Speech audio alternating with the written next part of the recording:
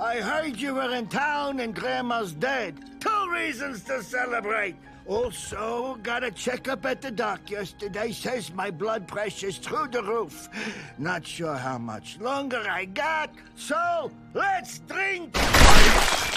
That blood pressure's no joke.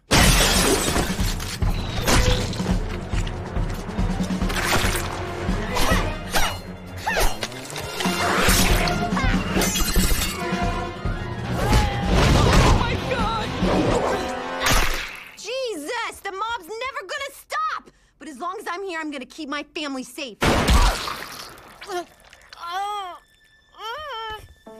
Dad? Holy honey, I'm sorry. There was a million dollar bounty on you. I didn't want to have to kill you myself, so I tipped off an assassin to collect the finder's fee. Big whoop. But you couldn't do it because you're a fucking piece of shit. You shit person! You were lying to me the whole time! No, no, no, no, no, I was not lying. I did owe the mob a lot of money. I just figured while I was waiting on the assassin to kill you, I could get you to take out the mob for me. What are you doing? All I wanted was what every Jewish mother wants for you to marry a doctor. But I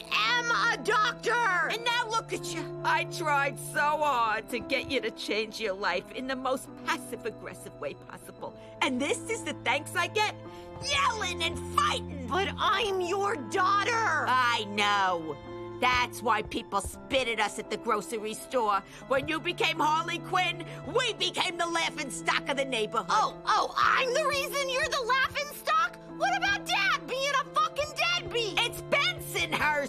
You're beating Irish and people forget a lot of things. Piece of shit! I'll fucking kill you!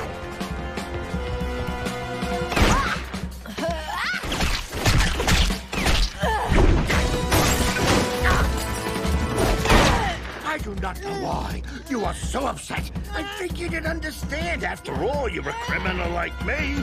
I'm nothing like you!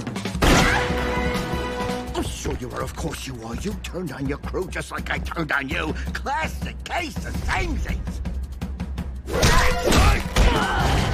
samesies! I didn't turn on my crew, they left me! Yeah, because you were sucking face with that goyish clown. You've always had bad taste in men. Gee, I wonder where I learned that from, huh?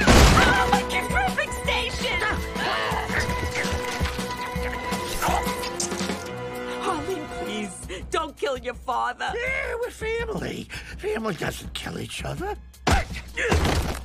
You people are not my family. And you know what? You're not even worth it.